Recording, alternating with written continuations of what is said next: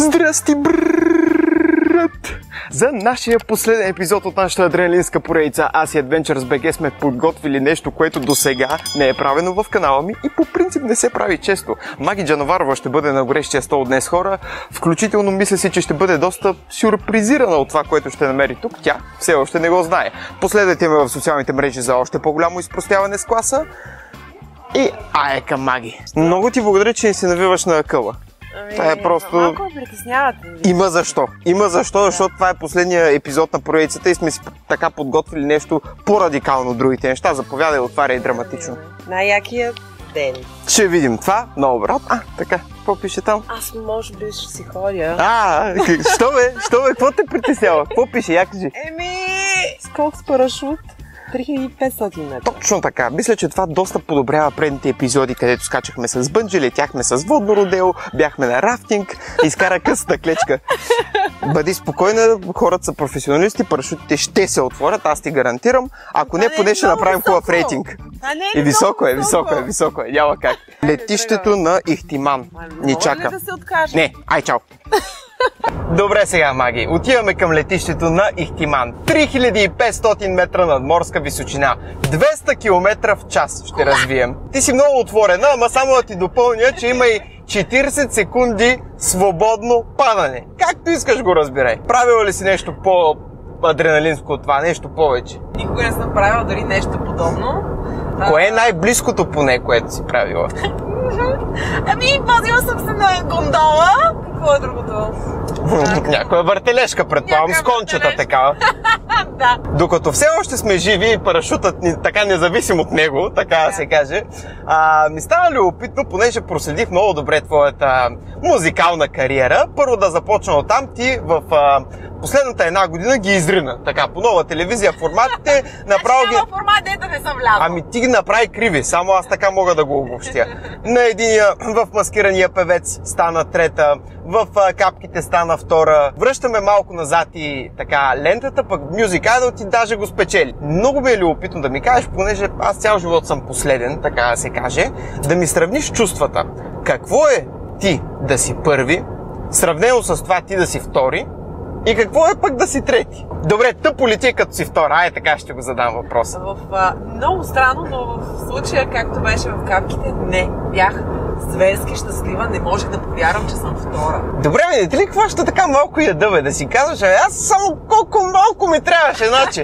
Нямаше ли нещо такова? Не, нямаше го, защото аз наистина не вярвах, че ще съм сред а, четиримата финалисти. Имаш високи очаквания за себе си. Естествено, че като останахме двама, си казах, «Уа, Маничко, много маничко. уа, има ли шанс всъщност аз да Е, видя, че няма. Много по-скоро мислех, че няма, защото а, мисля, че Фики беше наистина много голяма изненада за всички. Истината е, че много добре те оцениха хората и мисля, че те позиционираха там, където ти е мястото да си втора. Но ми кажи ти, така генерално доволна ли си от а, интереса на българската общественост, на българския народ, на българските млади хора към теб? Доволна ли си, ако щеш на своите YouTube гледания? Колко мислиш ще слушат сега и колко искаш да те слушат? Не знам колко. Имам а, а, песни, които са с 100 000 гледания, имам песни, които са с 6 милиона, с 7. Това не мисля, че е критерия за... А, За качеството. да. Права си за това, но е и факт също, че интересът към поп музиката в България не е толкова голям, колкото интереса към поп фолк музиката. Какво трябва да стане според теб? Първото да така надмине второто по, по интерес. И мислиш ли, че въобще това е възможно в нашите животи? Аз мисля, че в нашите географски ширини е много малко възможно. И винаги ще е така. Почти винаги а, леко ориенталският стил ще е доста по-слушан и вървежен в а, България. Просто заради менталитет, който носим. А, не говоря само за нашата държава, говоря за Сърбия, Македония, а, ако щеше и Гърция, въобще това са Турция, а, това са все държави, които са с, сме с сходен менталитет. А натъжава ли те това? Не. Аз съм изключително голям оптимист и винаги съм вярвала в а, мечтите си. Винаги съм имала много големи мечти. Може би това е нещо, което а, ме кара да нямам толкова голямо самочувствие. Слушаш ли поп фолк тогава? Като си толкова широко скроена. Аз не казвам, че съм широко скроена. така ще отговоря. Уважавам всички стилове и въобще аз не разделям а, хората на стилове. А, познавам се с много хора, които се занимават с тази музика. А, Няма никакъв спор, разбира се. Да, Аз, но не е моята и не ходя на места, където има така музика. аз коментирам явлението, а не таланта на изпълнителите, защото Фики е поредното доказателство, че много талантливи хора могат да изпълняват а, такива Абсолютно, ритми. Да оправя брошката и да стана разследващ журналист, даже ще я изкарам. Това е нашия човек. Радо, здрасти бе! Здрасти, добре дошли на летището. Фихтиман, прескочи БГ. Готови ли сте? Еми, ме ме е страх на едно от самолета, но добре. Ще я направим. Те са 40 секунди свободно падане, нали така? Горе-долу толкова. Добре, а, говорят ли си нещо хората, докато летят надолу? Много ми е интересно. Не. Защо? Защото представи си, че караш колата с 200 км в час, отвориш прозореца и се покажеш навън. По същия начин се чувстваш по време на свободното падане. Ще ме брули до, доста. Как сме с парашутите? Колко са на брой? Всъщност ние скачаме с един парашут. С един парашут. Да. Съвременните парашути, те всички трябва да, да имат и запасен и основен парашут и допълнително имат и една система електронна за отваряне на запасния парашут, ако по някаква причина инструктора не си отвори. Тоест имаме такъв. Има, всички са екипирани, това е задължително да бъде. Добре, аз за втория питам, той ми беше важен. Аз прочетох между другото, че хора над 100 кг не могат да скачат. Защо е това? Всеки парашут си има определен лимит от тегло. На тези парашути, които ползваме ние, максималното пол- полетно тегло е някъде между 215 и 220 кг. По-тежките хора ще падат и по-бързо и може да стане така, че е по-травмиращо да се приземят. Травмиращо приземяване. Колко деликатно се нарича да, да. размазването. Най-благоприятната позиция за свободно пад- падане, особено в парашютните среди, се нарича поза банан. Или тялото описва една дъгава, при която главата е назад, краката и коленете са назад, само таза е напред. Само тази напред. Точно Така. така. Да. Това е най-благоприятната и най-стабилната позиция Добре, ръцете къде са? Първо, първоначално те държат коланите на подвесната система. След като инструктора ви потупа по рамото, може да ги пуснете и да летите като птица. Вътре в самолета вие ще стоите зад пилота с гръб към него. Или казвам по друг начин, гледате към опашката. Ние независимо сме хв- хванати и аз и вие към парашута. Това означава, че не може да изпаднете, да се откъснете, да се освободите или каквото и да е. Мен вече ми стана малко по-различно на корема, като погледнах самолета отвътре. Да, с- самолетът е предостатъчен за, за парашютни скокове. Ще видите колко лесно се пътува с него. Все едно, че е разходка с лодка. Също е човек. Не е нужно да гледате надолу.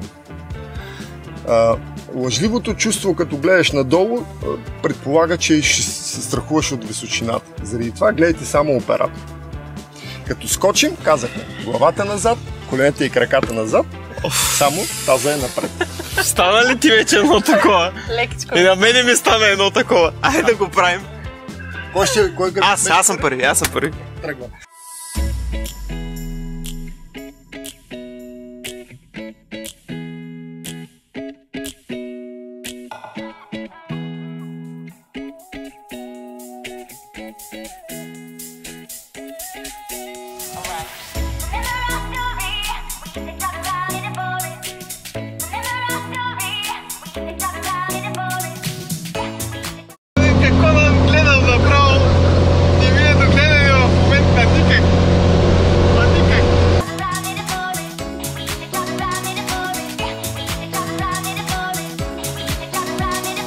Успях да се прозея. Мисля, че е добър знак. Какъв цвят има? Зелен, здравословно, розов.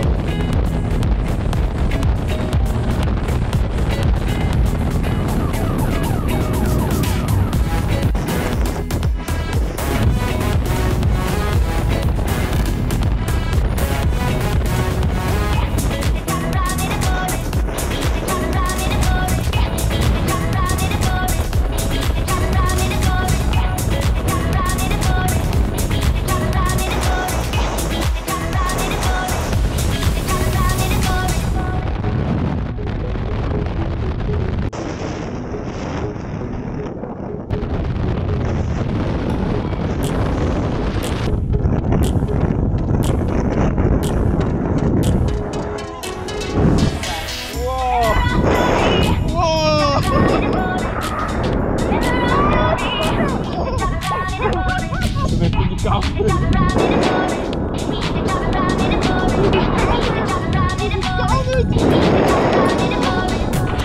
Schouder!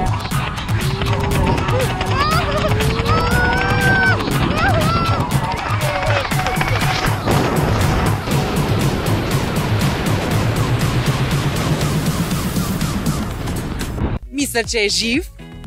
Нека да проверим. Чефо!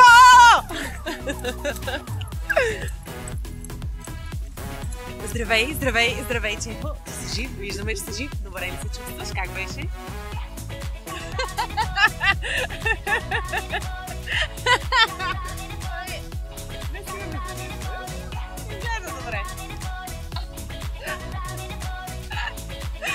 Мога ли да стана? Позволено ли ми е? Това е по-добро от всичко, дето съм правил, честно. И сега ти обяснявам тук горе, не знам си какво, къде си, що си, няма как. Самолета е неприятничко, обаче после като летиш е мега голям кеф. Направо нямам думи. Това е направо толкова е добро. Толкова е добро.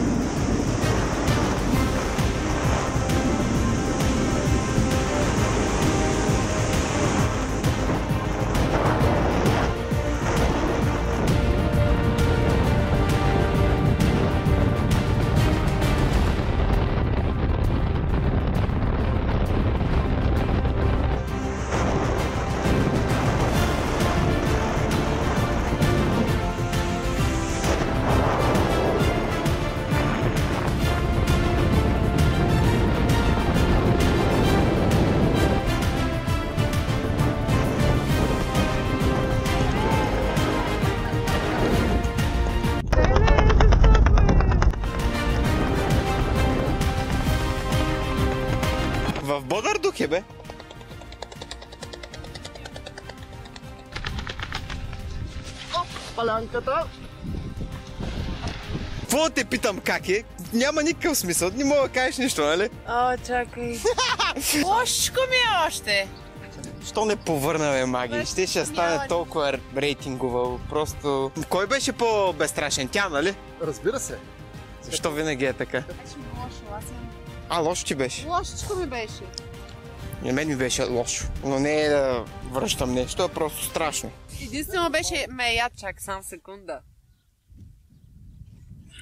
Вече съм добре. Това беше от нас, приятели. Цъкнете един сабскрайб на канала Чефо. Тук що видяхте два скока с парашут на летището на Ихтиман.